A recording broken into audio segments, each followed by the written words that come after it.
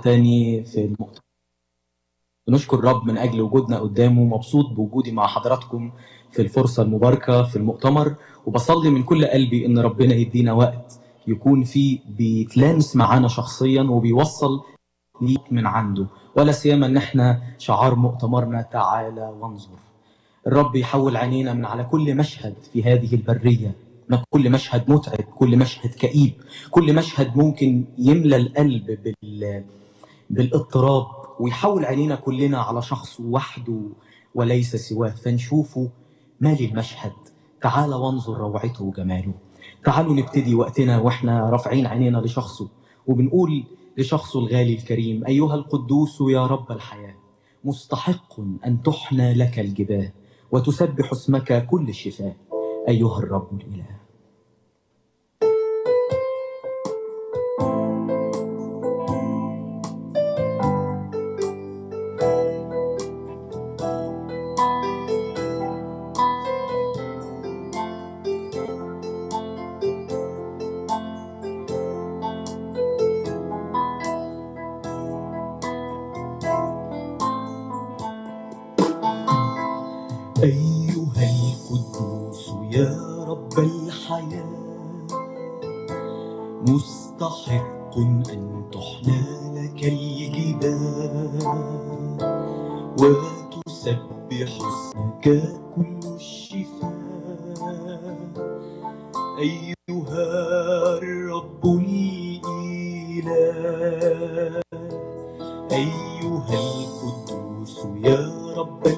الحياة مستحق أن تحنى لك الجبال وتسبح اسمك كل الشفاء.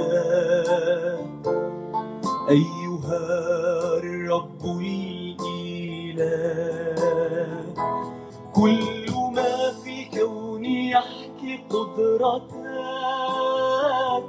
كل طير في السماء يشدو لك.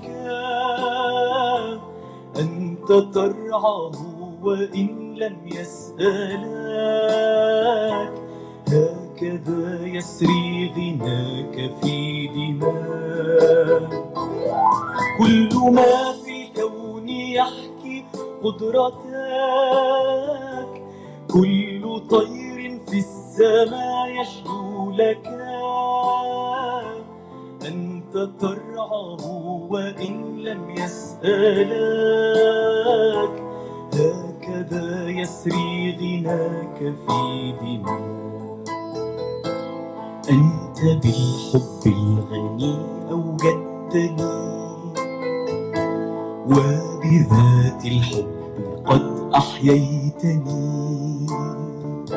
عندما أسلمت فاشتريتني.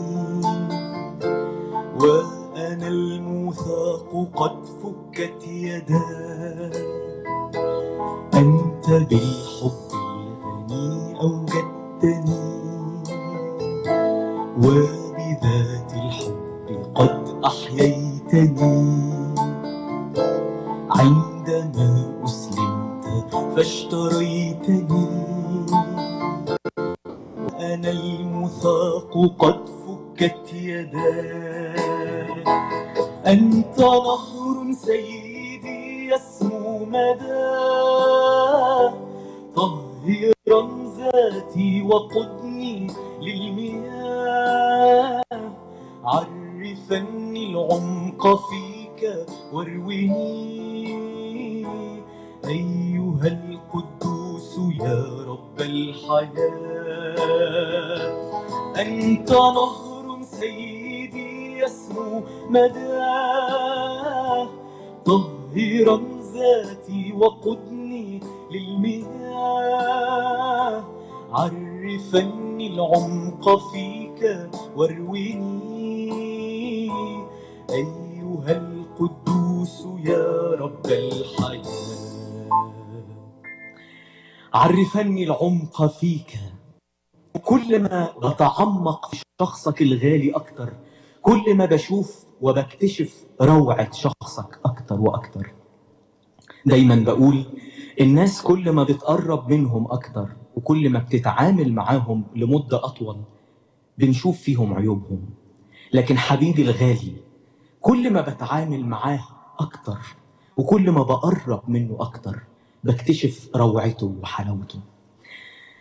عايز نقول مع بعض الكلمات الحلوة اللي جاية. إلهنا عظيم إلهنا أمين حافظ عهده سنين وسنين. مفيش أروع منه. تعالوا نقول للرب يا إلهنا الصالح شكرا ليك. مهما بنشكر مش هنوفيك دي مراحمك جيل ورا جيل. وأمانتك ثابتة وما بتزول. أعمالك تشهد لك وتقول مفيش زيك يا رب. يا رب ملكش مثيل. اللي يشوفك ويقرب منك واللي يختبر روعتك وجمالك اللي يذوقك ذوقوا وانظروا ما أطيب الرب. اللي يذوقك اللي يقرب منك ويتعامل معاك. لا يمكن يبعد عنك لأنه يا رب ملكش مثيل.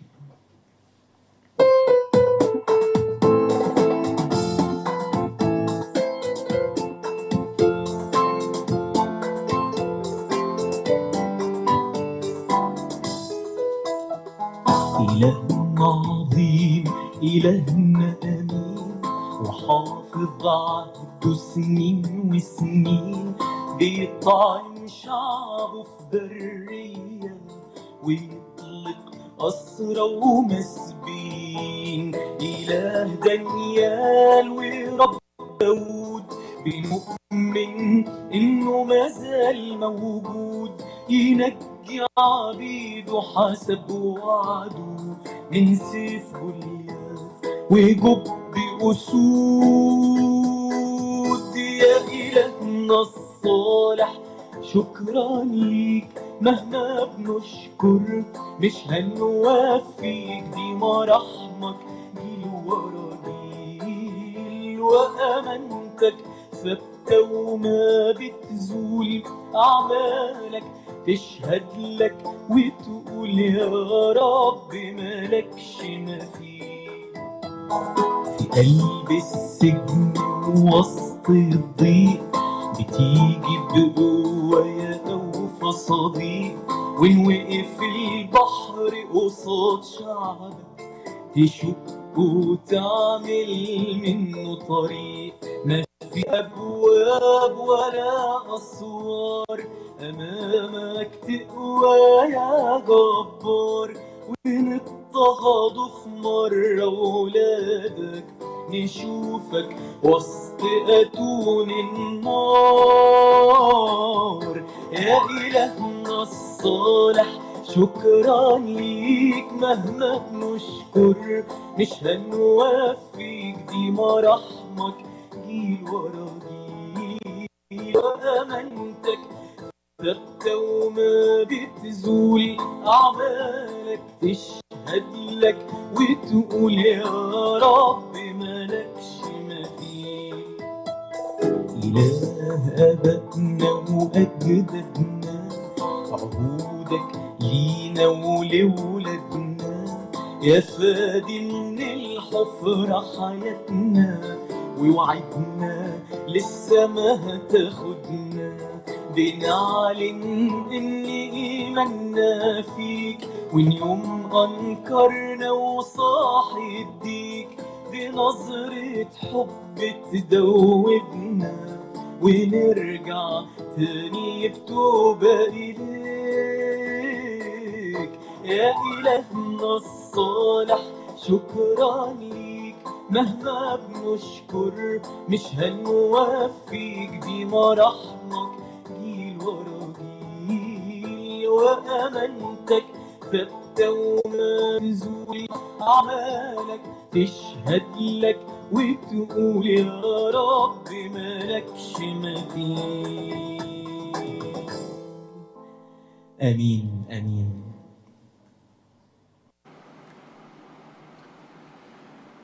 آمين. نشكر رب يا أحبائي لأجل هذه الفرصة. التي اثق من كل قلبي أن الرب مرتب لينا فيها طعام وإجابة على أسئلتنا. الرب الصالح الطيب الذي يعرف احتياج قطيعه دائما ما لديه من الأجوبة التي تشفي غليلنا والتي ترد نفوسنا. عندنا أسئلة. طول ما إحنا في الأرض عندنا أسئلة. مش غلط نيجي بأسئلتنا قدام الرب ومش غلط نعبر عن أسئلتنا. الخطأ أن نحتفظ بأسئلتنا لأنفسنا. والخطأ أيضا أن نذهب بأسئلتنا إلى مصادر مش موثوق فيها للرد. لكن بنعمة الرب في هذه الفرصة هيكون لنا بعض ال- الوقفات مع بعض الأسئلة التي جاءت من حضراتكم. وبنعمة الرب هيكون لنا وقفة ورا التانية ورا التالتة معتمدين على كلمة الله فقط للردود على الأسئلة. ونشكر الرب لأجل وجود خادم الرب المحبوب. الأخ يوسف رياض معانا في الفرصة ديت للإجابة على الأسئلة. أهلا بيك يا أخ يوسف مشرفنا. أهلا بك يا أخ عياد يباركك الرب. الرب يباركك. الحقيقة يعني جات لنا بعض الأسئلة تعبر عما يدور في أذهان أحبائنا في أسئلة متعلقة بحقائق كتابية وفي أسئلة متعلقة بحياة عملية. لكن انتقينا بعض الأسئلة علشان نقدر نغطي معظم الجوانب.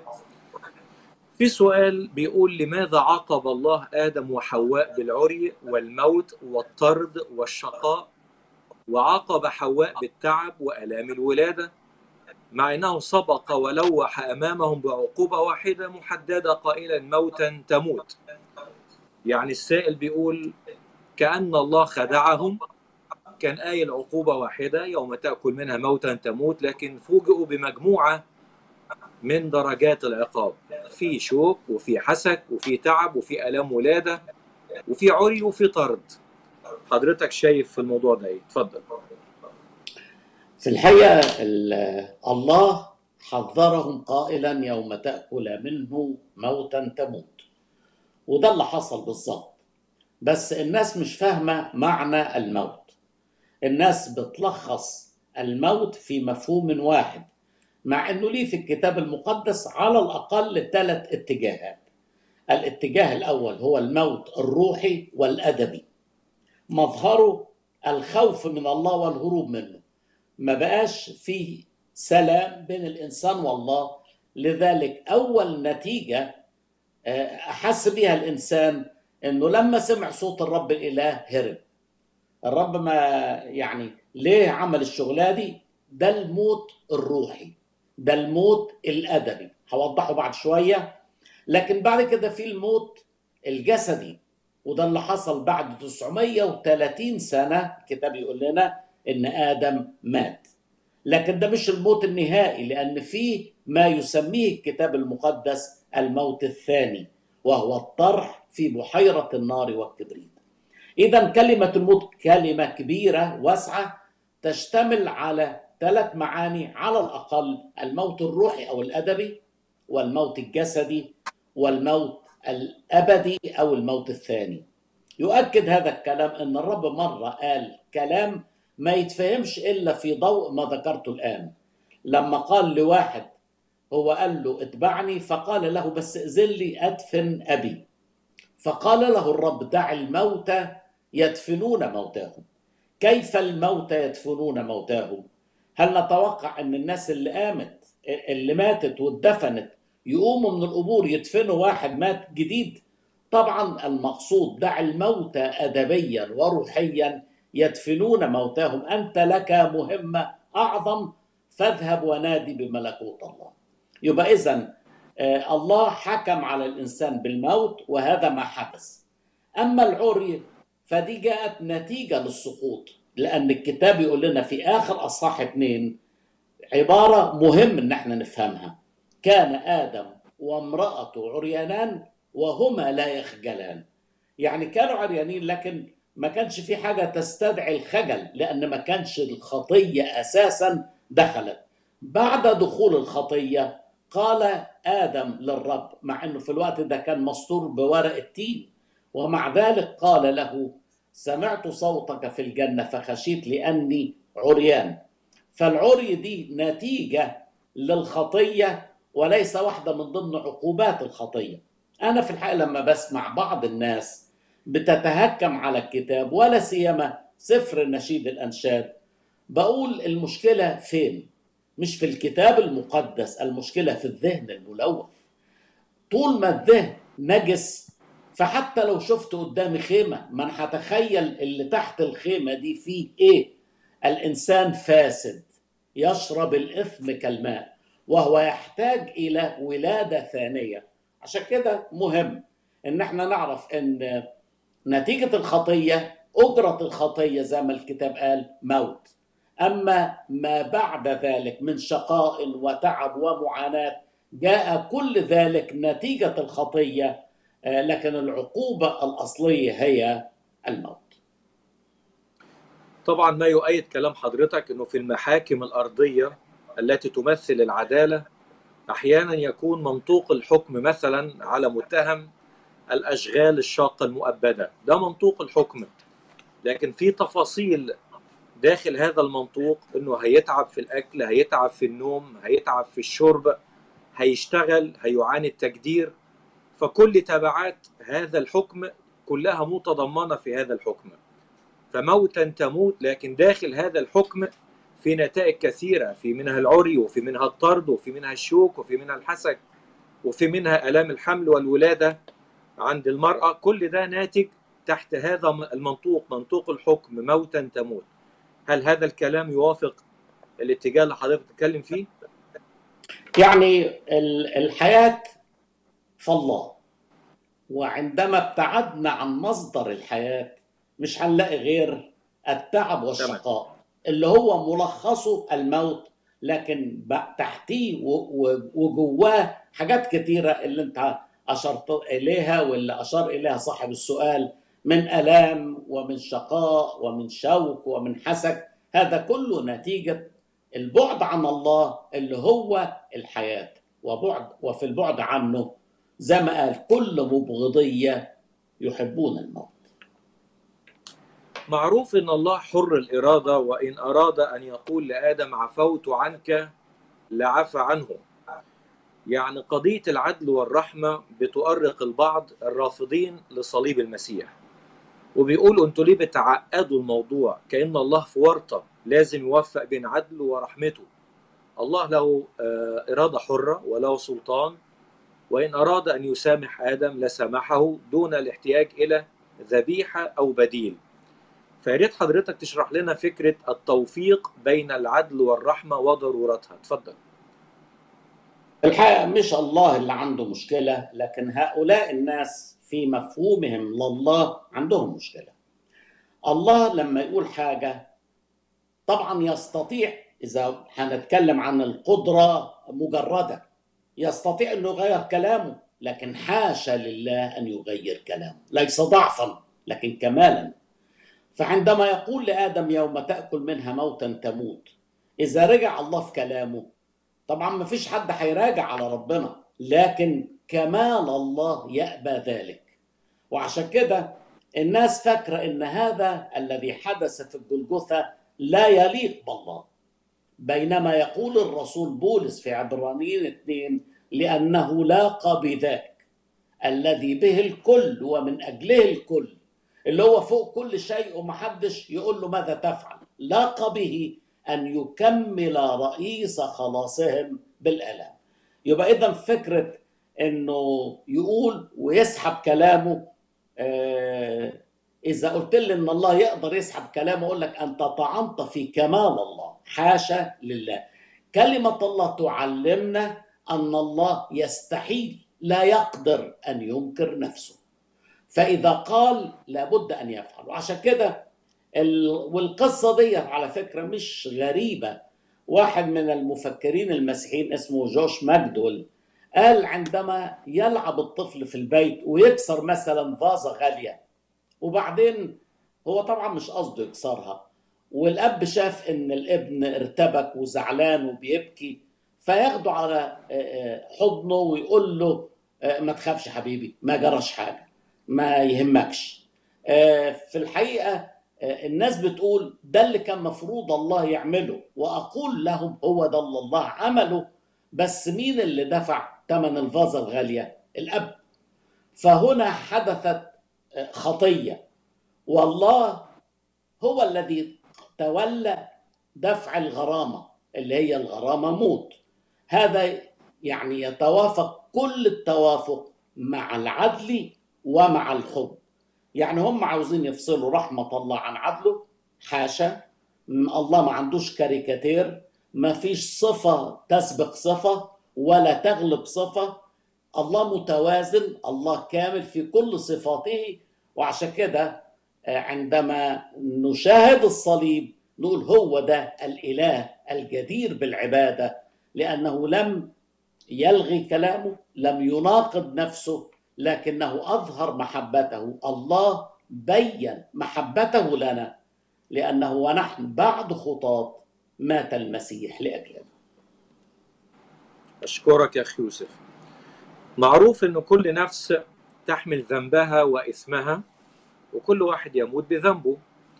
والكتاب بيقول في سفر الأمثال مبرئ المذنب ومذنب البريء كلاهما مكرهة الرب. أمثال 17 15 الحقيقة الآيتين دول بيحطونا قدام مواجهة كيف يموت المسيح البريء فوق الصليب نيابة عن الأثمة إن كانت كل نفس تموت بذنبها وإثمها. فكرة البدلية وتجهيزها من قبل الله. يا ريت تشرح لنا الموضوع ده.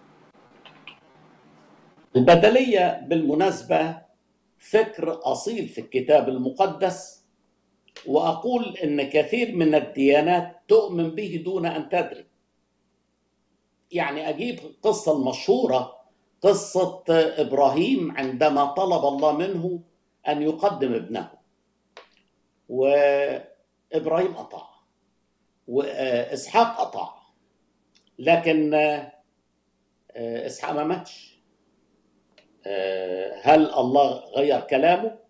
لا إبراهيم كان جاد وإسحاق كان جاد لكن الله كأنه بيقول لإبراهيم وقف ما تكملش أنا رتبت من يفدي ابنك. ومين اللي فدى ابن إبراهيم؟ كبشا ممسكا في الغابة بقرنيه أعتقد أن هذا الفكر متغلغل في كثير من ديانات العالم.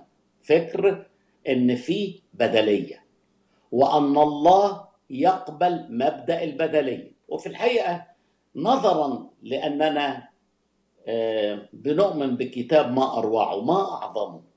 ما فيش تناقض إطلاقا في المفاهيم الإلهية في الكتاب المقدس من أول صفحة لآخر صفحة. يعني فكرة البدلية واضحة قوي في العهد الجديد. الصليب ما هو المسيحية مبنية أساسا على الصليب والقيامة. فواضحة في العهد الجديد. لكن أسأل بس في العهد الجديد واضحة؟ النظام اليهودي كله لما نقرأ سفر الخروج وبعديه سفر اللاويين مبني على ذبائح إيه الذبيحة دي؟ أنا عملت خطية جيب ذبيحة واذبحها طب ذنب الذبيحة إيه؟ لا ذنبي أنا مش ذنب الذبيحة. بحط إيدي على رأس الذبيحة تنتقل الخطية مني إليها يقوم الكاهن بذبح الذبيحة بدل ما أنا الذبح وهذا الفكر مش بس في سفر اللاويين وسفر الخروج ده من سفر التكوين ده من أول ما سقط الإنسان. ما الذي حدث عندما سقط الإنسان؟ حاول آدم وامرأته يعالجوا الغلطة بتاعتهم بأنهم يخيطوا ورقتين ما نفعش. لكن الله قام بصنع مآزر من جلد. جاب الجلد منين؟ من ذبيحة ذبحها. يبقى اذا فكرة البدلية وهي أساسية جدا في العهد الجديد هي أيضا أساسية في العهد القديم هي بتشغل اسفار كثيرة ونبوات ومزامير. يعني مثلا النبوة المشهورة شعة 53 وهو مجروح لأجل معاصينا مسحوق لأجل آثامنا تأديب سلامنا عليه وبحبره شفينا كلنا كغنم ضللنا ملنا كل واحد إلى طريقه والرب وضع مش على واحد من المخطئين لكن عليه ذاك الذي لم يعرف خطية وضع عليه إثم جميعنا. روعة التعليم المسيحي تناسقه مع فكر الكتاب المقدس من أوله لآخره. أشكرك يا أخي يوسف. حضرتك أشرت إلى قصة وراثة الخطية. وموضوع وراثة نعم. الخطية برضو محل جدل. كثيرون يرفضون فكرة إن أنا ورثت خطية وبيقولوا ما هو ذنبي؟ لماذا أرث خطية آدم؟ يعني كل واحد يسأل عن نفسه وإن لي الفرصة أن أكون مكان آدم حتما لا أفعل خطية آدم ولا أرتكب خطية آدم. فذنب إيه عشان أرتكب خطية آدم أو علشان أشيل آه، وزر قام به آدم عشان أورث الخطية؟ قول لنا فين في الكتاب نتقابل مع نصوص تقول لنا وتحتم لنا وراثة الخطية؟ لا سيبك من خطية آدم. خلي عنك ما تشغلش بالك بيها خالص. لكن وماذا عن اللي انت عملته؟ ندور على واحد يشيله لك. انت دلوقتي رفضت الفكرة دي. يبقى اذا انت هتحاسب على اللي انت عملته. وده اللي بيقوله الكتاب. ودين كل واحد بحسب ما هو مكتوب في الأسفار بحسب أعمالهم. بدل انت عايز مبدأ إن أشيل أنا ذنبي بس مبروك عليك. شيله يا اخويا لكن عايز أقول إن مبدأ البدلية والتمثيل ده مبدأ الوحيد اللي فيه أمل للإنسان إنه يخلص. يعني لو الرب؟ رفض آه يعني لو الله رفض مبدأ أن آدم يمثلني هو هنا آدم مش ورثني خطية يعني زود على المليون اللي أنا عملته بقوا مليون واحد لا. بس أنا ور... الله شافني في آدم. طيب لا أنا مش عايز الله يشوفني في آدم. خلاص. هيشوفك في اللي انت عملته. ولما هتدان لما يدان الإنسان أمام العرش العظيم الأبيض سوف يدان عما عمله هو وليس عما عمله آدم. لكن زي ما بقول إن ده الم- ال- ال- الأمل الوحيد إننا نخلص. لماذا؟ لأن الله عندما قبل أن آدم يمثلني قبل أيضا أن المسيح يمثلني. وأنا مقبول مش في إن في طبعا في آدم يموت الجميع وأنا مت في آدم. لكن آه، الله قبلني في المسيح كما في آدم يموت الجميع كذلك في المسيح سيحيا الجميع. يعني النهارده الله مش بيحاسبني لأن أنا عملت مليون خطية. هذه الخطايا اتحطت على بديلي من ألفين سنة والله قبل نيابة المسيح بدلي. وتمثيل المسيح ليا. وقول لي لو كان الله ارتأى أن لا يقبل هذا المبدأ هل كان هناك ثمة أمل لأي إنسان كائن من كان في كل الكون أنه يخلص؟ ما أعظم موسى ورقي أخلاقه. ومع ذلك موسى لم يدخل أرض كنعان لأنه خان. والرب قال له كده.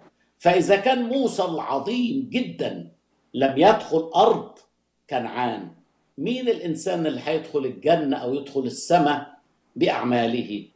أنا أشكر الله جدا لأنه قبل مبدأ التمثيل وإلا ما كان ثمة أمل لكائن من كان في نوال الحياة الأبدية. اخ يوسف الارتباط بهذا الموضوع أيضا ليه دايما التركيز على فساد الإنسان الكلي. بيفتح الباب على يعني على قبول كفارة المسيح. في بعض الأشخاص بيرفضوا فكرة فساد الإنسان الكلي وبيعتبروا إن الخطيئة شوهت الكيان الإنساني لكن في بقايا صالحة في الكيان الإنساني وليس فسادا كليا. عايز حضرتك تركز لنا على الفساد الكلي وضرورة قبول هذا الفكر الكتابي علشان أقدر أستفاد بكفارة المسيح الكامل. أعتقد عيب هؤلاء الذين يقبلوا إن إحنا فينا عيوب بسيطة يعني ويرفضوا الفساد الكلي. أعتقد إن مشكلتهم إنهم بعيدين عن الله. ما دخلوش نور محضر الله. لو قروا الكتاب المقدس مثلا مثلا هيتقابلوا مع واحد ما كانش في زيه في كل الأرض. بشهادة الله ليس مثله في كل الأرض اللي هو أيوب. رجل كامل ومستقيم يتقى الله واحد عن الشر. ده أيوب. طيب. أيوب متى؟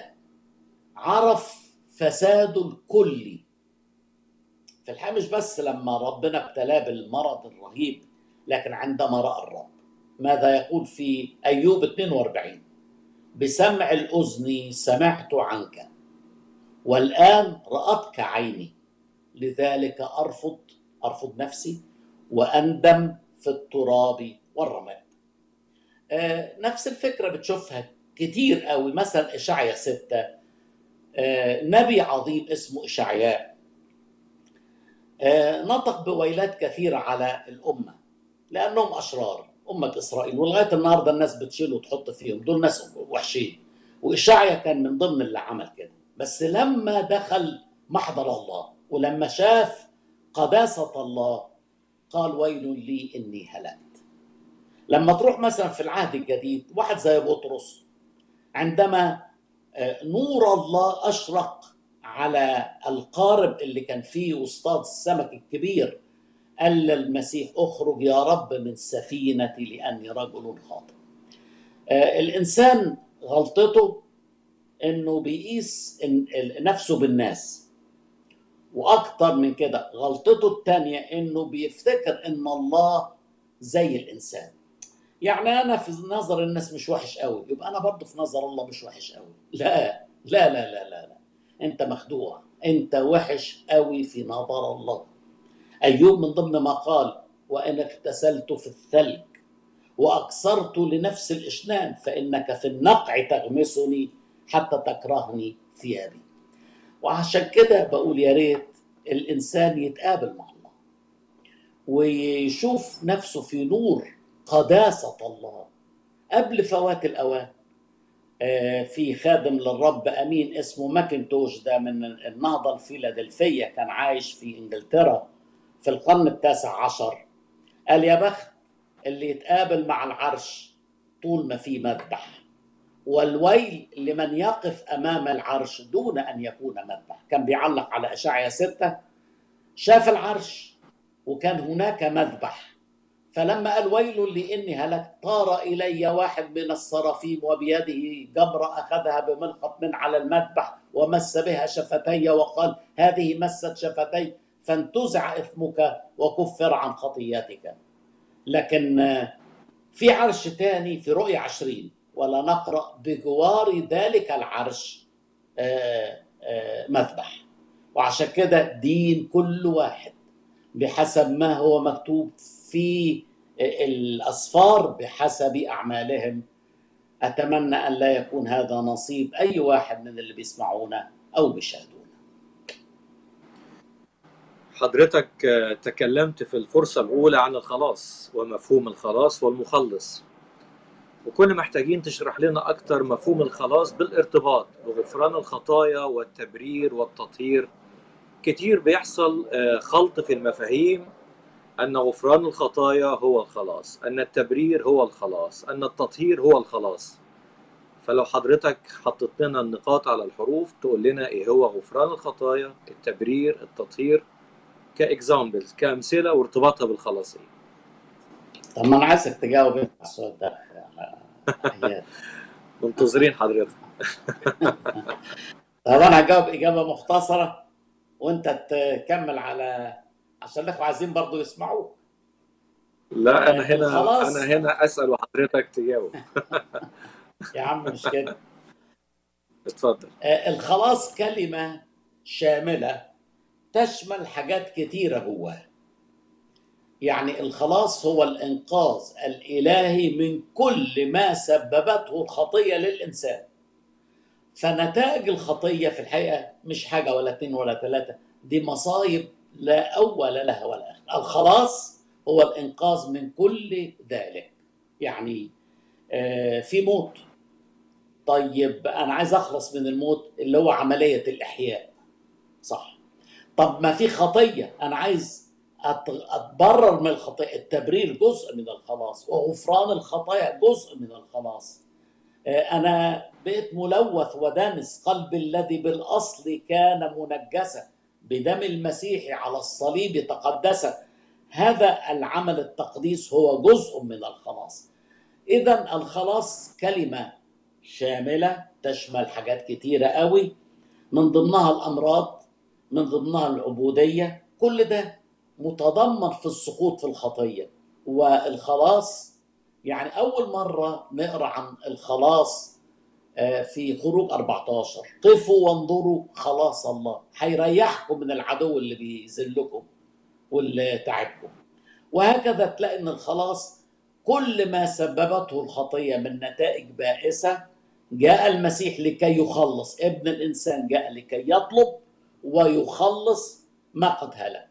مش يخلص بس من الأمراض أو من الأعداء زي مثلا القضاة في العهد القديم أو الأنبياء لكن يخلص شعبه من خطاياهم. الخطية هي أس البلاء وأس الشقاء. يعني نقدر ندي تعريف نقول مثلا إن الخلاص هو علاج كل آثار دخول الخطية. فإن كانت الخطية أدخلت معاها الموت فإحنا محتاجين إحياء. ادخلت النجاسة محتاجين تطهير. ادخلت المديونية محتاجين غفران خطايا. ادخلت المذنوبية محتاجين تبرير. فالتبرير يعالج المذنوبية. غفران الخطايا يعالج المديونية. تطهير يعالج النجاسة الإحياء يعالج الموت وكل ده نقدر نقول عليه هو الخلاص. الخلاص مش واحدة بس من دول لكن علاج كل آثار دخول الخطيه كنا بنتكلم الصبح؟ عن نعم ده تمام. مظبوط. آه، بقول كنا بنتكلم الصبح عن الخلاص في مراحله الثلاث وقلنا إن ال- إن في خلاص حاضر وخلاص ماضي وخلاص مستقبل. الخلاص اللي, ربنا متعنا بيه اوريدي الخلاص من عقوبة الخطيئة. العقوبة الخطيئة دي ما يعني واحدة من نتائج الخطية أجرة الخطية موت مش هزار. وعشان كده الخاطي مرتعب من الموت. لماذا؟ طب هقابل ربنا إزاي؟ لكن المؤمن لما بيتبرر تمتع بالخلاص في مرحلته الأولى. وبعدين في خلاص حاضر من سيادة الخطية برضو إحنا مش بنعمل الخطية بس آه، يعني بمزاجنا. إحنا مستع... أنا جسدي مبيع تحت الخطية طب وفي خلاص؟ آه في خلاص اللي هو التقديس. وبعدين لسه في جانب من الخلاص مش هيتم غير لما يجي المسيح في مجيئه الثاني يخلصنا من جسد الخطية. مش هيبقى في ميل للخطية إثر الخطايا ينمحي والشر سيغيب.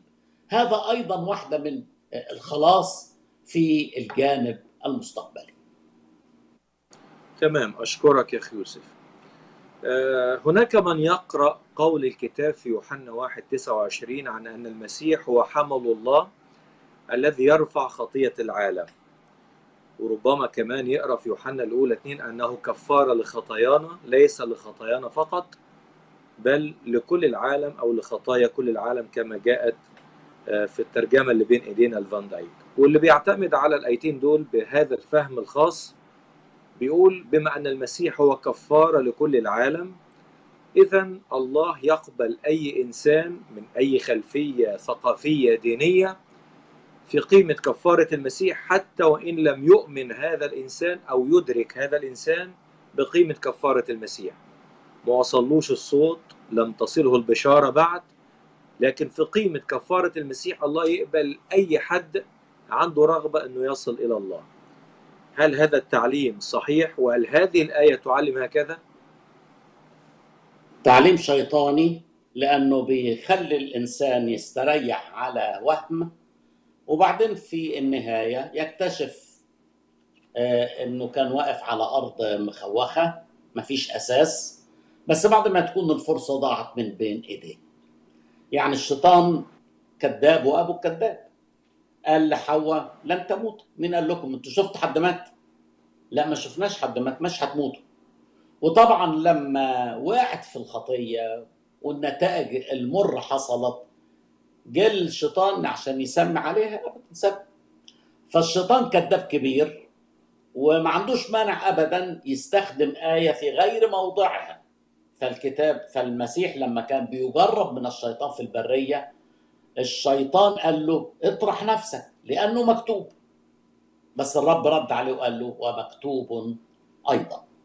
طب تعال نبص على الآيتين اللي حضرتك أشرت إليهم. حمل الله الذي يرفع خطية العالم. لم يقل خطايا البشر ولا قال خطايا العالم لكن قال خطية العالم. يعني إيه خطية العالم؟ حالة الفوضى والتشويش اللي موجودة في العالم. الحاضر الشرير. اللي بيقول عنها في روميا اصح 8 أخضعت الخليقه للبطل.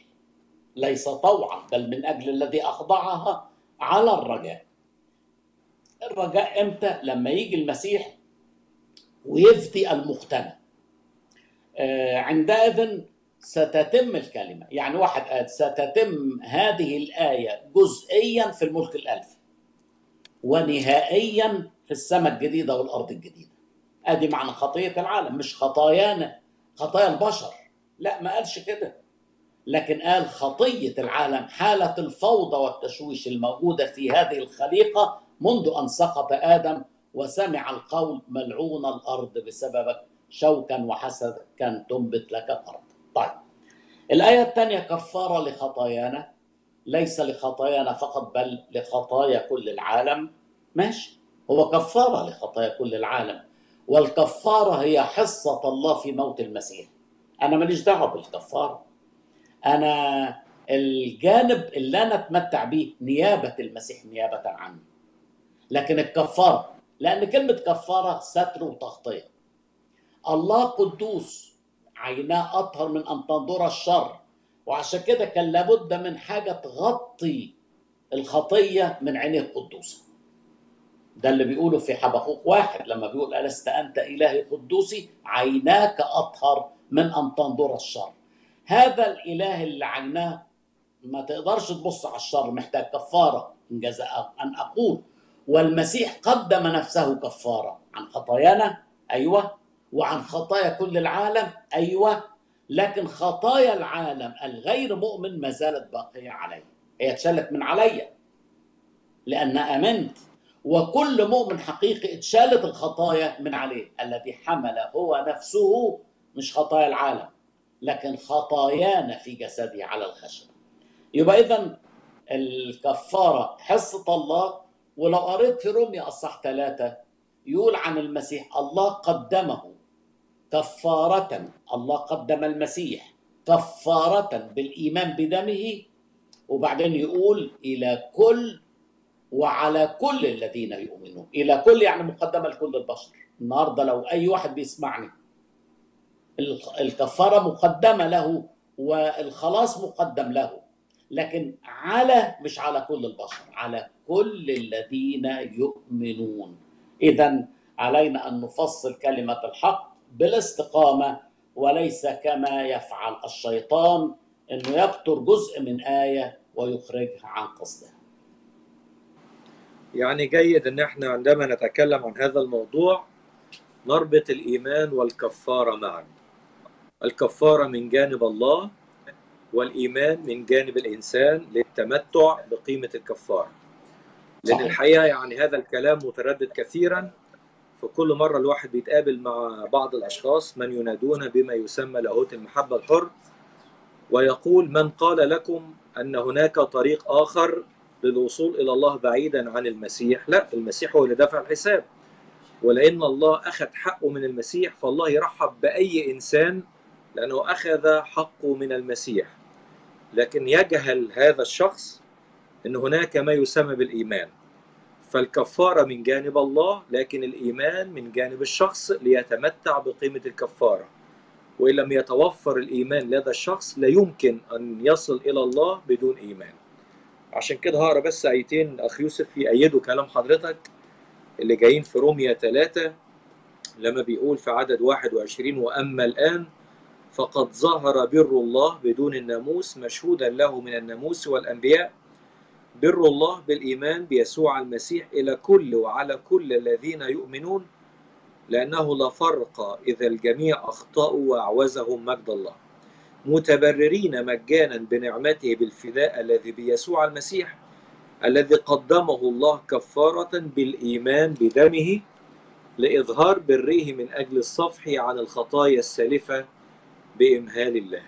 إذا من جانب الله قدمت الكفارة لكن لكي يتمتع الإنسان بقيمة الكفارة عليه أن يؤمن ويخصص عمل المسيح له ويعتمد عليه. حضرتك تعلق تقول إيه في القصة ديت نعم. حضرتك تعلق تقول إيه في قصة ربط الإيمان والكفارة معا؟ آه أقول إن ما قاله الرسول بطرس في أعمال 4 12 وليس بأحد غيره الخلاص ويقصد المسيح يسوع. ليس بأحد غيره الخلاص لأن ليس اسم آخر تحت السماء قد أعطي بين الناس به ينبغي أن اخلص لفت لمع قدام عيني من يوم ولا اتنين عبارة اعطي بين الناس. ليس اسم آخر تحت السماء قد أعطي. ولقيت إن الاسم ده يسوع. ده أعطي دي عطية من الله. دي هبة من الله لينا. علشان كل من يدعو باسم الرب يخلص. أنا كل اللي عليا بس أقول يا رب زي اللص. تاريخه سيء للغاية لكن قال اذكرني يا رب. متى جئت في ملكوتك؟ فتمتع بغفران المسيح بل وقال له اليوم تكون معي في الفردوس. تمام أشكرك. في سؤال بيقول إن كانت الصوفية هي حالة العشق لله والحب الشديد له والدخول إلى حالة اتحاد معه فلماذا لا نقبلها؟ أو لماذا نرفضها؟ إذا كان بتعلمنا كيف نحب الله وندخل في اتحاد معه ليه بنرفضها وما نقبلهاش؟ اتفضل. اولا نرفضها لأنها لم تعطي المجد للمسيح. الكتاب يقول أرفعه لأنه عرف اسمي اللي يعرف اسم يسوع ربنا يرفعه. نحن لا نرفضها لأنها تتجه بالحب لله لكن نرفضها لأن لأسباب ثلاثة. قيل إن الصوفية فيها ثلاث عناصر التجلي والتحلي والتخلي. أو خليني أقولها بالترتيب الآخر التخلي والتحلي والتجلي. تخلي يعني أنا بتخلى طوعا عن بعض الأشياء عشان خاطر ربنا. في الحقيقة ده ضد كلمة الله. ليس أننا نحن أحببنا الله بل أنه هو أحبنا. قبل ما. أنا أكون البادئ هو اللي كان بادئ. وفي الحقيقة كلمة الله من أول الكتاب المقدس لآخره ما بتقولناش ابدا إن الإنسان هو اللي بيسعى لله لكن الله هو اللي بيسعى للإنسان. ليس آدم الذي قال لله أين أنت يا الله؟ أريدك عشان أتوب عند قدميك. الله هو الذي بحث عن آدم وقال له آدم أين أنت؟ فدي التخلي. وبعدين التحلي إننا نحط شوية حاجات كويسة من الإنسان والإنسان بحسب كلمة الله ليس ساكن فيه شيء صالح. أي حاجة تقول عليها كويسة لا ده في نظرك كويسة.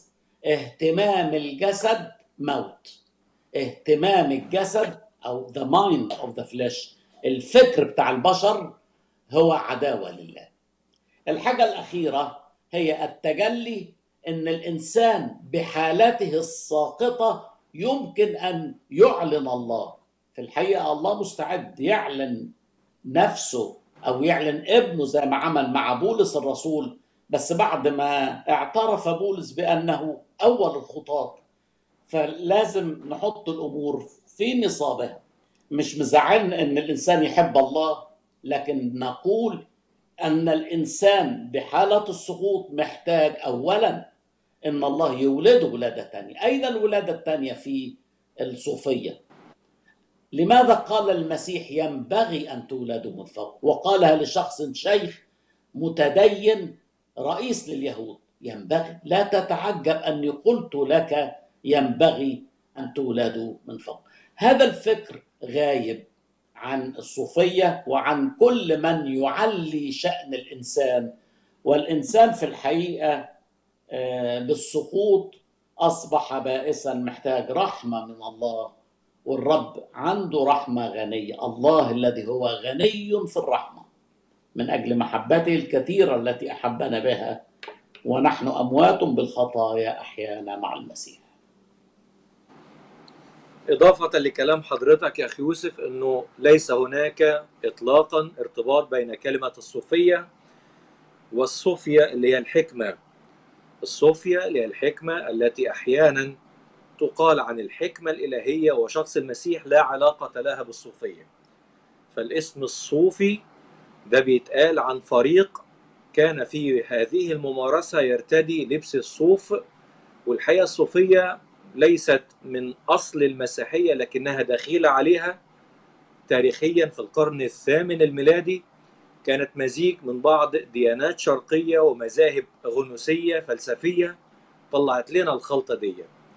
وهي لا تركن مطلقا على فساد الإنسان الكلي لكن تفترض فيه الحسن والجمال والمقدرة على الوصول إلى الله والاتحاد به. ووضعوا الاتحاد بالله نهاية المطاف ونهاية الرحلة فهو يتخلى ويتحلى لكي ما يتحد بالله. مع إن الإيمان المسيحي بيقول لنا إن مش هقدر أخطي خطوة في علاقتي بالله إن لم أتحد به اولا أنال حياة الله وروح الله اولد ولادة ثانية صرت متحد معه عضو في جسد المسيح أدخل في علاقة ورحلة معه. لكن الصوفية حطت الاتحاد نهاية المطاف بناء على مجهودات إنسانية ولم تفترض في الإنسان فسادا كليا كما يعلمنا الكتاب فهي ليست أصيلة في المسيحية لكنها ضد التعليم المسيحي على طريق المستقيم. أنتقل لسؤال يا أخي يوسف مرتبط بكسر الخبز وعشاء الرب والسائل بيسأل بيقول هل كسر الخبز ممارسة فردية أم جماعية؟ وهل يوجد مانع في ظل ظروف الحظر في بعض البلدان أن يكون هناك كسر خبز أونلاين؟ يعني كل واحد في مكانه ويأخذ نصيبه من الخبز والكأس. تفضل. آه ما نعرفه من الكتاب أنها ليست ممارسة لا فردية ولا عائلية لكنها ممارسة كنسية في المقام الأول. آه الرغيف الواحد يعبر عن أننا نحن الكثيرين جسد واحد. هذا التعبير لا يمكن أن يتم إلا عندما زي ما قال في كورنثوس الأولى إذا اجتمعت الكنيسة كلها في مكان واحد. وجاء رغيف لكي يعبر عن أننا كلنا جسد واحد. فأنا شايف إن ما عدا ما غير ذلك لا ينطبق مع تعليم الكتاب. يعني ليست فردية وأيضا ليست فئوية. ما أقدرش أقول أيوه. مجموعة شباب مع بعض جزء من الكنيسة يكسروا خبز شابات جزء من. الكنيسة يكسروا خبز لكن الكنيسة المجتمعة هي التي تكسر خبزا. صح. آه، في قضية الوحي والإعلان محتاجين نور من حضرتك أكتر تكلمنا عن معنى الوحي ومعنى الإعلان. وما هو وضع بعض أقوال الأشرار داخل كتاب الله وأقوال الشيطان داخل كتاب الله. فياريت حضرتك تدينا فكرة عن مفهوم الوحي والإعلان. لتبسيط الموضوع أقول إن حصلت ثلاث خطوات لكي يصل إلينا نور إعلان من عند الله. الخطوة الأولى بنسميها الإعلان. ما لم تر عين ولم تسمع أذن ولم يخطر على بال إنسان. ما أعده الله للذين يحبونه فأعلنه لنا نحن بروحه. والمقصود أعلنه لنا نحن كتبة الوحي.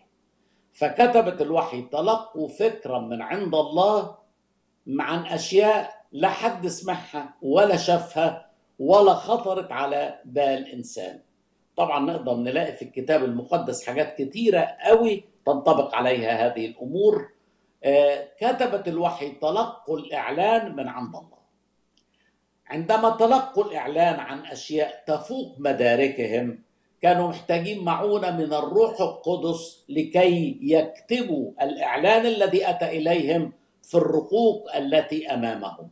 فكتبوا مسوقين من الروح القدس.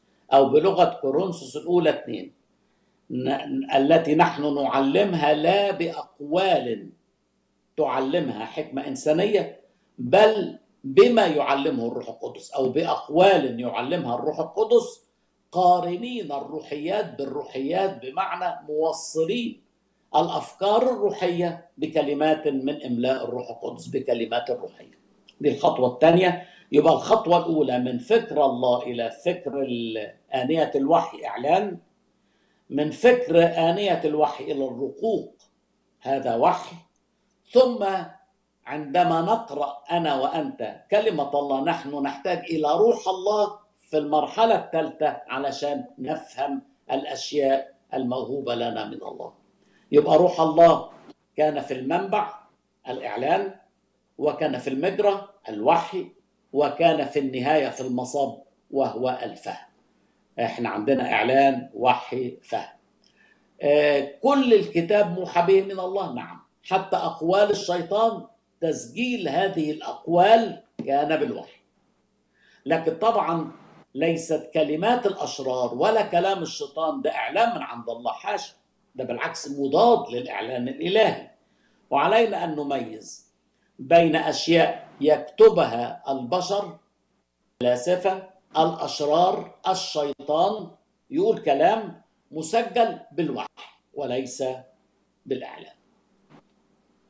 تمام؟ أشكرك لأجل هذا الإيضاح لأنه مفهوم الوحي في القضية ديت مشوع عند البعض.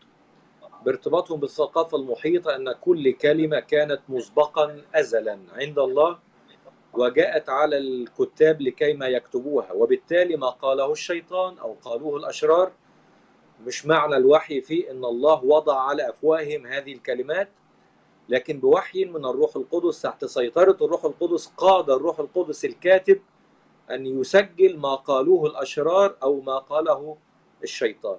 هذا هو معنى الوحي مسوقين من الروح القدس. آه، في سؤال آه، مرتبط بيقول آه، في آية بتقول أن الآب لا يدين أحدا بل قد أعطى كل الدينونة للابن. عايزين نعرف المرات اللي فيها المسيح سيدين. سيدين باعتباره ابن الله ولا هيدين باعتباره ابن الإنسان. الدينونة له كابن الله ولا كابن الإنسان؟ الآية اللي حضرتك أشرت إليها موجودة في يوحنا خمسة مش كده؟ تمام تمام. في يوحنا خمسة قبل ما يقول لنا الآب لا يدين أحد بل قد أعطى كل الدينونة للابن بيقول لنا إن في حاجات بيعملها الابن وبيعملها الآب.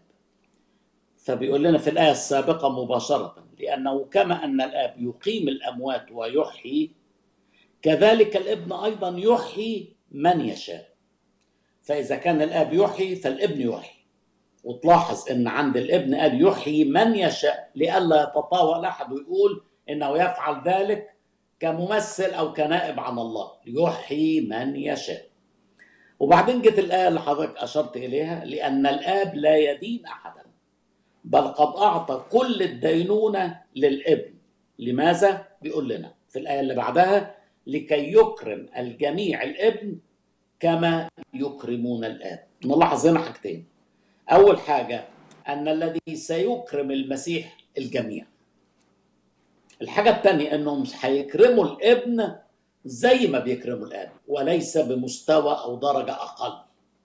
وإذا فهذه الآية وهذا الأصح كله من أوله لآخره بيؤكد لنا لاهوت المسيح. بل إن إنجيل يوحنا كله من أعظم الأناجيل التي تكلمنا عن ابن الله أو عن لاهوت الابن نروح بقى إنه هيدين باعتباره ابن الله ولا ابن الإنسان. طبعا واضح أنه سوف يدين باعتباره ابن الإنسان. آه، الكلام ده واضح برضه في الأصحاح عدد 26 لأنه كما أن الأب له حياة في ذاته. كذلك أعطى الابن أيضا أن تكون له حياة في ذاته. وأعطاه سلطانا أن يدين أيضا لأنه ابن الإنسان. آه، وعشان كده الأب لن يدين أحد. أعطى كل الدينونه للابن علشان يكرموا الابن زي ما بيكرموا الآب. هيدين باعتباره ابن الإنسان وكأنه عاوز يقول قليل هم الذين تطاولوا على الاب أو على الله. قليل. صح النهارده آه، ما عادش في محطات والناس مطولة لسانها على أي حد. حتى على الله ماشي. لكن واضح إن التطاول على المسيح باعتباره إنسان واخد نصيب أكبر جدا. ولذلك هو الذي سوف يدين علشان لما يقفوا الأشرار قدامه هيضطروا يسجدوا له. حي... اعدائه هيلحسوا التراب. تكثو باسم يسوع كل ركبه في السماء والأرض وتحت الأرض. ويعترف كل لسان أن يسوع رب لمجد الله الآب. تمام أشكرك. آه، في المأمورية العظمى في إنجيل متى أصح 28 يقول الكتاب آه، في عدد 19 الرب بيقول للتلاميذ فاذهبوا وتلمذوا جميع الأمم وعمدوهم باسم الآب والابن والروح القدس. فاذهبوا وتلمذوا جميع الأمم وعمدوهم باسم الآب والابن والروح القدس. طبعا دي آية صريحة جدا بتشرح لنا الأقانيم الثلاثة الآب والابن والروح القدس. البعض درج على تسمية الآب بالأقنوم الأول والابن بالأقنوم الثاني والروح القدس بالأقنوم الثالث. ولابد أن يكون الترتيب هكذا. الآب أولا ابن ثانيا الروح ثالثا. هل ترتيب الأقانيم ده صحيح؟ هل عشان أقول الآب أولا الابن ثانيا الروح ثالثا ده ترتيب صريح؟ وهل يوجد في الكتاب ترتيب آخر؟ إعادة ترتيب لذكر الأقانيم؟ طبعا لو قلنا إن في ترتيب معين هيخلي بقى إن في تميز أو عدم مساواة. لا في الحقيقة إحنا كلمة اقنوم معناها إن الثلاث أقانيم هم جوهر واحد اللي هو الله وهناك معادلة في مساواة في الجوهر ومعادلة في الأقنومية. ففكرة إن أقنوم أول وثاني وثالث إحنا بنقبلها تجاوزا. وبنعتبر إن اللي قايلها مش مدقق قوي أو بيقصد المعنى العام. أما إذا دخلنا في إن في أقنوم أول اسمه كذا وأقنوم تاني جبناها منين؟ حتى في هذه الآية ما قالناش إن ده الأول وده الثاني وده الثالث حضرتك بتسأل هل في ترتيب آخر؟ أعتقد طبعا في ترتيب آخر. أشهر آه، مثال لذلك ما نقرأه في آخر كورنثوس الثانية. لما يقول لنا في آخر كورنثوس الثانية نعمة ربنا يسوع المسيح جاء في الأول. ومحبة الله نمرة اثنين وشركة الروح القدس جه نمرة ثلاثة هل معنى ذلك إن دايما الروح القدس نمرة ثلاثة روح لأفسس آه، أربعة عدد أربعة وخمسة وستة. يكلمنا الأول عن روح واحد. وبعدين يكلمنا عن رب واحد اللي هو المسيح وبعدين يكلمنا عن آب واحد في عدد ستة. يبقى إذا بدأ بالروح القدس ثم الابن ثم آه، آه، الروح القدس. آه، الآب. أشكرك يا أخي يوسف عندنا كمان سؤال في كولوسي واحد ولا سيما في عدد 19 و20 لما بيقول أنه فيه سر أن يحل كل الملء وأن يصالح به الكل لنفسه عاملا الصلح بدم صليبه بواسطته سواء كان ما على الأرض أما في السماوات. الآيتين دول فيهم سؤالين. السؤال الأول ما معنى كلمة وأن يصالح به الكل لنفسه؟ هل نفهم من الآية ديت أن هناك صلح عام في مصالحة عامة؟ أن الكل سيصالح سيقبل وإن كان كده فما معنى كلمة هناك أشرار وهناك عذاب أبدي؟ ده السؤال بيقول كده. السؤال الثاني ما معنى كلمة آه، وأن يصالح به الكل لنفسه عاملا الصلح بدم صليبه بواسطته سواء كان ما على الأرض أم ما في السماوات. ما على الأرض ده معروف لكن ما هو اللي في السماوات يحتاج إلى الصلح؟ اتفضل. بس هل في حاجة في السماوات تحتاج إلى صلح؟ نعم. إيه هو؟ لما الابن مثلا الابن الراجع يقول لأبيه أخطأت إلى السماء وقدامك. واحدة. الثانية في رؤيا أصحاح 12 لما كلمنا عن طرح الشيطان المشتكي الذي كان يشتكي على إخوتنا أمام إلهنا نهارا وليلا.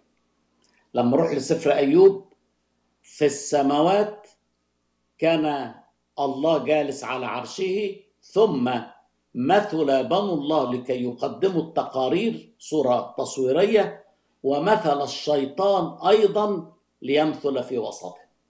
هذا كله بيخلينا نفهم أن السماوات نتيجة خطية الشيطان وخطايا الإنسان تنجست. يمكن ده يلقي الضوء على ما جاء في عبرانيين اصح تسعة لما يقول لنا في عدد 23 فكان يلزم أن أمثلة الأشياء التي في السماوات تطهر بهذه بالذبائح الحيوانية. كان يلزم أن أمثلة الأشياء التي في السماوات تطهر بالذبائح الحيوانية. أما السماويات عينها فبذبائح أفضل من هذه. يبقى السماوات محتاجة تطهير بحسب عبرانيين تسعة عدد 23 آه، حكاية بقى آه، السماوات والأرض الاثنين يتطهروا بس تلاحظ حضرتك إنه ما قالش حاجة عن تحت الأرض. مع إن في نفس الوقت اللي كتب كولوسي كتب فيليبي. وفي فيليبي اصح اتنين جاب لنا السماء والأرض وتحت الأرض. تكتب اسم يسوع كل ركبه في السماء والأرض وتحت الأرض. في السجود الكل حتى اللي تحت الأرض هيسجدوا للمسيح. لكن المصالحة يصالح اللي في السماء واللي في الأرض لكن اللي تحت الأرض عذاب أبدي. أبدية تعيس في الخطيه مفيش مصالحة له. وعشان كده آه، بيكلمنا عن مصالحة ما في السماوات. وما على الأرض. بالنسبة لينا إحنا بقى يقول وأنتم صالحكم الآن في جسم بشرياته بالموت. تمام أشكرك يا أخي يوسف. سؤال آه، جالنا من شخص باحث عن الحق. بيقول في سؤاله أنا شخص باحث عن الحق. أعلم أن السيد المسيح متميز جدا في طريق دخوله إلى العالم وخروجه وحياته الطاهرة ومعجزاته لكنه كان يبرئ الأكمة والأبرص ويقيم الموت بإذن الله وأعرف أن هذا يعني بأمر من الله. هل المسيح كابن الإنسان أو الله الظاهر في الجسد في كل تحركاته يأخذ أمره من الله؟ هل الله يأمر نفسه؟ أريد التوضيح وشكرا مقدما. تفضل يا يوسف أي بإذن الله أو بأمر الله لم ترد في الكتاب المقدس مطلقا. فالأخ الحبيب بيسأل سؤاله جاب حتة خارج الكتاب المقدس وعاوز نحن نرد عليه. لا الكلمة ديت بإذن الله ما جتش. بالعكس إحنا قرينا من شوية آية عكس كده. يحيي من يشاء. كما أن الآب يحيي كذلك الابن أيضا يحيي من يشاء. يوحنا أصحاح خمسة. يبقى إذا فكرة إنه بيعمل اللي بيعمله بأمر من الله أو بإذن من الله هذا ليس له دليل كتابي على الإطلاق. مش عارف أنا جاوبت على السؤال ولا في جزء تاني لسه آه طبعا. حضرتك جاوبت بس ممكن نضيف حاجة بسيطة. طبعا إحنا بنشكره. لأنه باحث. طب وبنشكره آه، نشكره. يعني بياخد وقت يبقى- وي- ي- يبحث وعايز يوصل للحقيقة. ربنا يباركه. عايزين بس نضيف كمان عبارة إنه هناك ما يسمى بأعمال الله السيادية التي لا يعملها إلا الله ولا يمكن أن يعطي الإذن لنبي أو رسول أن يعملها. يعني الرب إدى آه، طائد قدرة معجزية للبعض إنه يقوم بمعجزات. فإيليا عمل وإليشا عمل؟ لكن في بعض الأعمال السيادية لا يعملها إلا الله زي الخلق.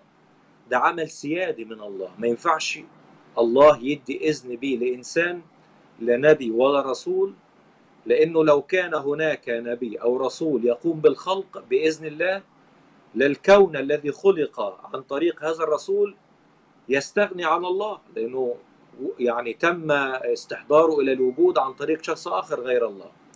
والله اللي ينفع أن الكون يستغنى عنه لحظة واحدة ما يبقاش هو الله. ففي أعمال اسمها أعمال الله السيادية ما يعملهاش إلا الله منها الخلق منها إقامة الأموات. المسيح لم يستأذن لكي يخلق ولم يأخذ إذن لكي يقيم الموتى بل عند قبر العازر كانت صلاته لكي ما يفتح الرب عيون اليهود الواقفين لكي يؤمنوا لكن نطق من تلقاء ذاته بسلطانه لعازر هلم خارجا. والآيات التي سجلت في الكتاب كلها من منطلق إرادة المسيح الحرة وأمر الذاتي عندما أمر الريح والبحر من هو هذا فإن الريح والبحر يطيعان هل لك تعليق يا أخي يوسف على الموضوع ده؟ لا كده تمام يعني من غير شك إن المسيح هو الله الذي ظهر في الجسد أعماله تعلن ذلك ثم قبول السجود في مرات كثيرة. كل الاتقياء رفضوا السجود. لكن المسيح قبل السجود مع أن الله قال مجدي لا اعطيه لآخر. الحقيقة المسيح مش آخر لكن أنا والآب واحد. تمام. آه، في سؤال من شخص بيقول أنا عابر ومحتاج بطريقة عملية أن أعرف كيف أعيش كمؤمن سماوي والمسيح يكون مركز الحياة رغم تحديات ومتطلبات العصر وضغوط ومفاجآت البرية. فهناك أسباب كثيرة نعيشها يوميا تقود إلى حالة عدم الاكتفاء في الحياة ولا سيما في دول المهجر. كيف أعيش وأتمتع بحياة الاكتفاء الصحيحة؟ هو يعني حديث الإيمان ومن خلفية غير مسيحية. تفضل يا فوز. آه، يعني علشان نحيا حياة آه، آه، سوية محتاجين نتنفس شهيق وزفير. الشهيق هو كلمة الله الكتاب المقدس أنفاس الله. يمكن بعضنا عارف إن كلمة كل الكتاب موحى به من الله معناه كل الكتاب هو أنفاس الله. لما بنقرأ الكتاب المقدس كأن أنفاس الله تدخل إلى وتملأ الرئتين الروحيتين بتوعي. لكن كمان في زفير. وأعتقد الزفير هو الصلاة. عندما نصلي ومن غير شهيق وزفير إزاي هقدر أعيش؟ وكمان أنا محتاج إلى طعام. كأطفال مولودين الآن اشتهوا اللبن العقلي أو اشتهوا لبن الكلمة العقلي العديم الغش اللي هو الكتاب المقدس. حلو إن يكون لي قراءة يومية للكتاب المقدس ويكون عندي شهيق أتنفس هذه الأنفاس أنفاس الله ويكون عندي ما أطرحه عند قدمي المسيح علشان خاطر بهذه بهذا الأسلوب آه، أعتقد إن هتتصلح حالتي وهبقى عايش سعيد مع ربنا. صار اخنوخ مع الله وأنا من حقي ومن امتيازي أن أسير مع الله أن يكون الله خليلي وصديقي. قال كده أنتم أحبائي إن فعلتم ما أوصيكم به. يا بختنا بالمسيح. طبعا بننصح كمان أخونا المحبوب في مكانه إن كانت هناك فرصة أن يتعرف على مؤمنين على كنيسة ويقدر يحضر ويحضر اجتماعات العبادة. ده هيفرق معاه وهو مع مجموعة تمثل آه، الكيان الكنيسة في هذا المكان. إذا كان صعب عليه في بلده أنه يكون مع مجموعة فيصلي أن الرب يفتح عينيه على واحد أو اثنين أو ثلاثة يشجعوه. ينبغي أن تكون لك شركة مع بعض المؤمنين علشان تقدروا تشجعوا بعض وتصلوا لأجل بعض. آه كنا محتاجين يا أخي يوسف آه ناخد خبرة حضرتك وإن كنت تقدر تدينا. عن بعض طرق دراسة الكتاب المقدس. البعض حديث في الإيمان ومش عارف يبتدي يدرس الكتاب إزاي. إيه أنسب وسيلة وطريقة لدراسة الكتاب المقدس؟ اتفضل. إيه رأيك لو أنت جاوبت على السؤال ده يا حيات نعم. إذ إيه رأيك لو أنت جاوبت تديني فرصة إن أتنفس؟ آه طيب آه. هيستفادوا من خبرتك برضه وأنا استفدت. الرب يباركك يا. يكرمك الرب. لا هو اللي عند اللي عندنا كله متعلمينه من حضرتك. رب يبارك لا العفو حبيبي العفو. طبعا هو دراسة الكتاب المقدس يا أحبائي بتيجي مرحلة لاحقة لما يسمى قراءة الكتاب المقدس والتأمل في الكتاب المقدس. يعني خلينا أقول أن هناك آه، تعامل خماسي مع الكتاب المقدس. ال- التعامل الأول المسؤولية الأولى أني أقرأ الكتاب المسؤولية الثانية أني أتأمل في الكتاب. المسؤولية الثالثة تجاه الكتاب أتعامل مع الكتاب إني أدرس الكتاب يعني أقراه أتأمله أدرسه بعد كده أعيش الكتاب. نمرة خمسة أشارك الكتاب.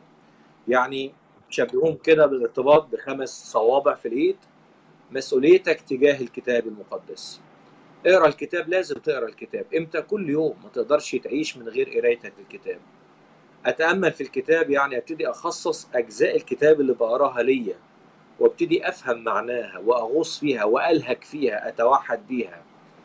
لكن دراسة الكتاب دي مرحلة من أعظم المراحل اللي فيها بتنقلك من مرحلة الطفولة والاعتماد على أجزاء بسيطة من الكتاب إلى الفهم والبحث الغوص في الأعماق.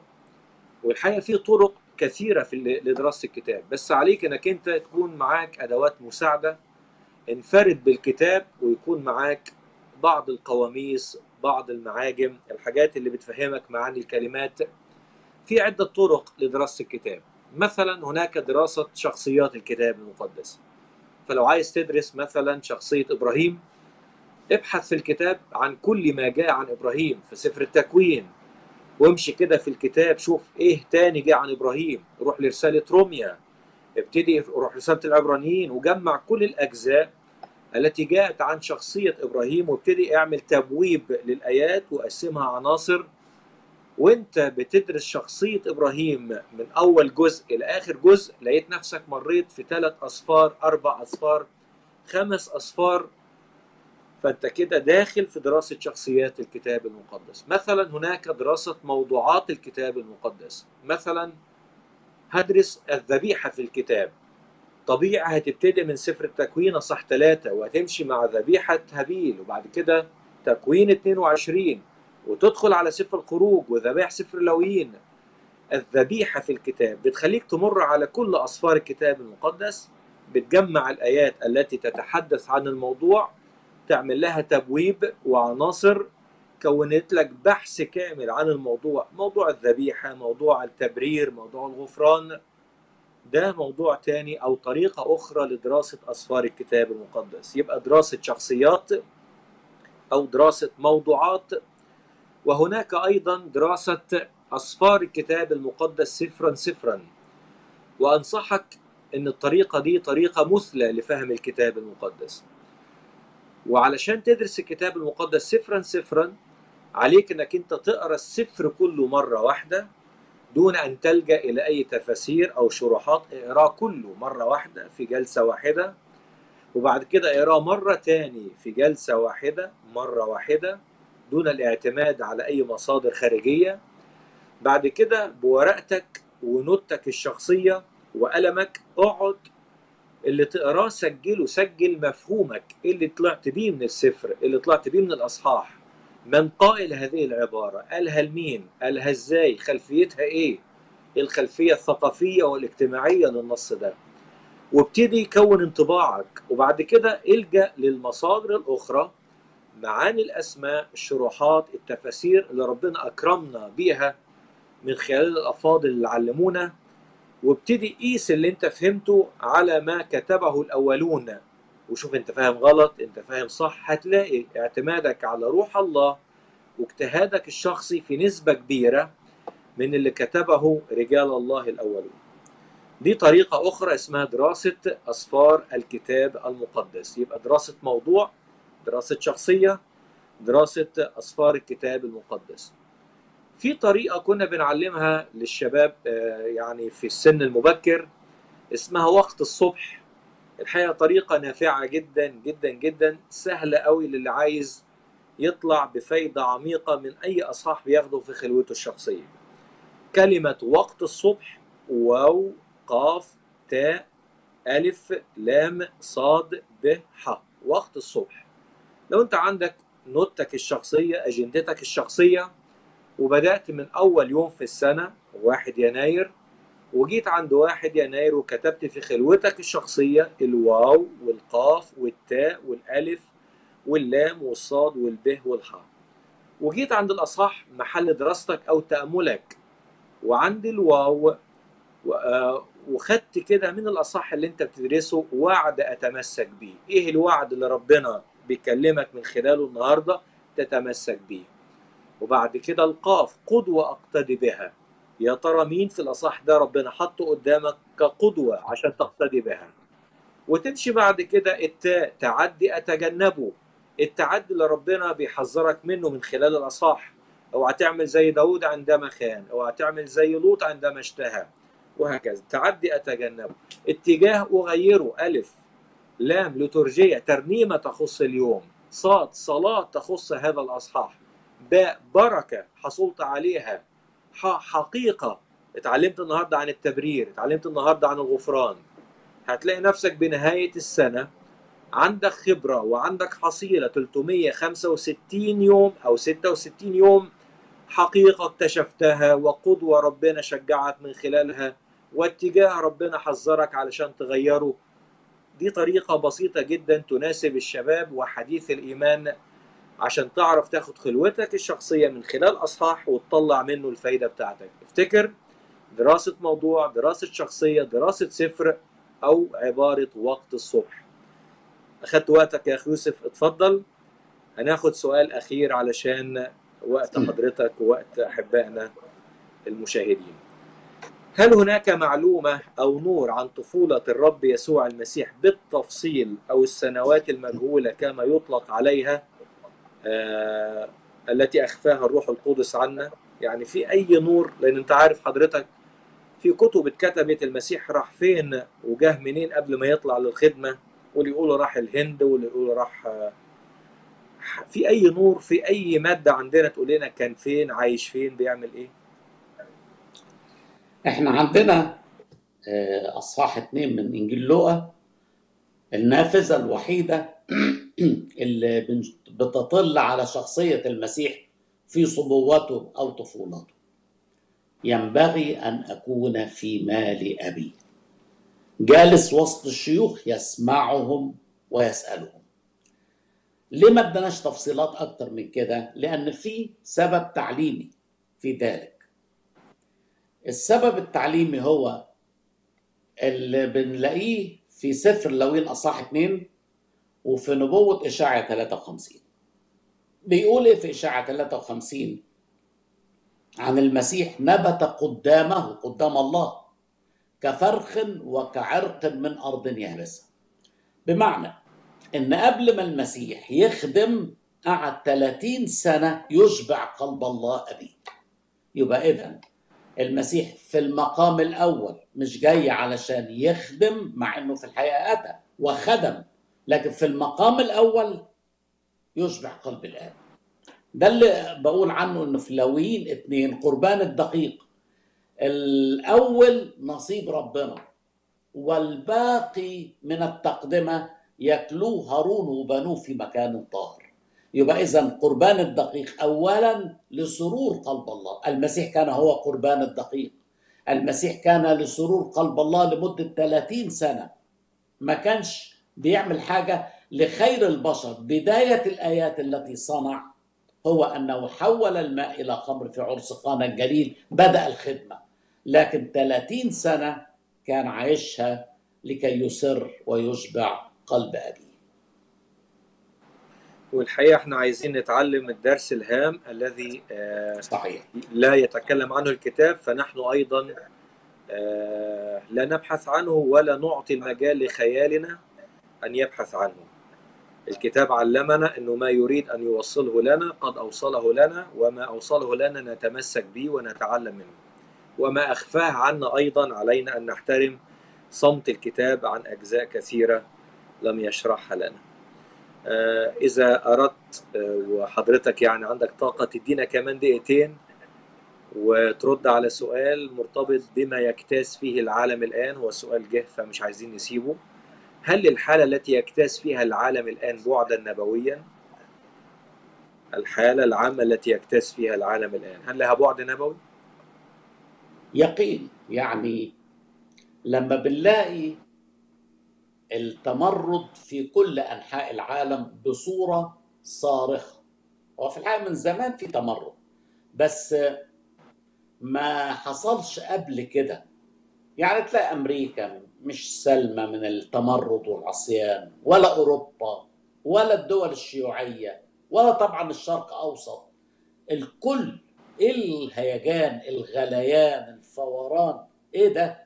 دي الجو اللي منه هيطلع أبشع شخصية في الوجود. سر الإثم اللي هو العصيان والتمرد سر الإثم الآن يعمل فقط. إلى أن يرفع من الوسط الذي يحجز حينئذ يستعلن الأثيم lawlessness. اللي ما عندوش قانون. اللي هيجبر الناس يعني أنا كنت بسمع تحليل من أحد الرجال آه، بيقول آه، النهارده هيبقى الإنسان على قدامه اختيار تختار الحرية ولا الأمن تعيش ولا تعيش حر؟ لا أعيش. وأعتقد الناس كلها عايزة تعيش ولو تضرب صفح بالحرية. آه، ده ال ال وعشان كده هيجي الوحش ويستغل هذه النقطة. فيجبر الجميع على السجود وأخذ السمه بتاعت 666 لمن يسجد واللي ما يسجدش يتقتل. طبعا الكلام ده يمكن من سنين كان مش وارد. النهارده التكنولوجي خلت ممكن فعلا يعرفوا مين اللي سجد ومين اللي ما سجدش ولا يبيع ولا يشتري إلا اللي ليه السمة 666 فأنا أعتقد إن ما يحدث في أيامنا بيقول لنا بصوت عالي جدا استعدوا يا مؤمنين الرب يسوع جاي عن قريب. تمام أشكرك يا أخي يوسف. آه، يعني اخذنا وقت طويل مع حضرتك وعارفين أجهدناك في الأسئلة. رب يديلك معونة ويحفظك لشعب الرب. حتى مجيئه القريب. نشكر رب لأجل الفرصة ديت وأحبائنا اللي بيشوفونا لينا لقاء آخر الخدمة اللي جاية مع الأخ يوسف رياض والأخ الحبيب مايكل إسحاق في الترنيم. هتكون الساعة 6 مساء بتوقيت كاليفورنيا الساعة 3 صباحا بتوقيت مصر. خلونا آه، نقدم الشكر للرب لأجل هذه الفرصة ونسلم كل معلومة كل حق استمعنا إليه. بين ايدين الرب علشان يترسخ في أعماقنا وفي قلوبنا. يا رب نشكرك من كل القلب نعظمك لأنك المعلم الوحيد الشخص الوحيد اللي ينفع لما نجيله بأسئلتنا وألغاز الحياة وعلامات الاستفهام. نجد النور ونجد الاستجابة يا رب ونجد الإرشاد. نشكرك يا رب. ما سبتناش ابدا حيارة دون دليل. عبدك بطرس يقول وعندنا الكلمة النبوية وهي أثبت. هذه الكلمة فيها كل الكفاية لنا ففتح كلامك ينير ويعقل الجهال. ما من مرة يا رب جئنا بروح التلمذة والاتضاع أمام الكلمة إلا وصار لنا النور والهداية. فتح كلامك ينير يعقل الجهال. أكثر من الشيوخ فطنت لأني حفظت وصاياك نشكرك. لأجل روح التعلم التي وضعتها في قلوبنا. سيدنا ادينا دايما أن نتحلى بروح الإتضاع والتعلم لكيما نأتي أمام الكلمة ونحصل على الفائدة من الكلمة. واحمينا من الغطرسة والكبرياء وروح الأستاذية في التعامل مع كلمتك يا رب. احفظنا متضعين أمام هذه الكلمة فهي لنا غنى وفير وجزيل. بارك آه، كل فقرات المؤتمر بركة للمتكلمين وبركة للسامعين. لاسمك كل المجد آمين آمين. رب